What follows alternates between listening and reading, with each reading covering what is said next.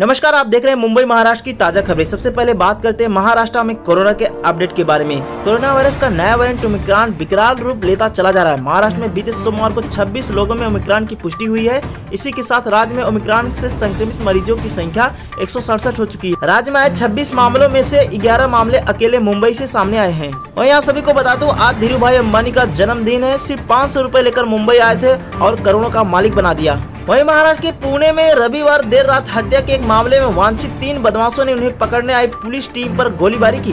वहीं Ludhiana court bomb blast mastermind Jaswinder Singh Multani Germany में गिरफ़्तार हुआ। मुंबई में भी अटैक करने का प्लान बना रहा था। वहीं केंद्रीय मंत्री रामदास अठावले ने कहा कि मैं चंद्रकांत पाटिल से सहमत हूँ कि महाराष्ट्र में राष्ट्रपति शासन लगना चाहिए और भाजपा और शिवसेना का गठबंधन होना चाहिए ताकि महाविकास आघाड़ी सरकार को हटाया जा सके। वहीं बॉलीवुड इंडस्ट्री से एक शोक समाचार सामने आ रही है। मुश्ताक मर्चेंट बीते काफ़ी वक्त से डायबिटीज़ की बीमारी से पीड़ित थे।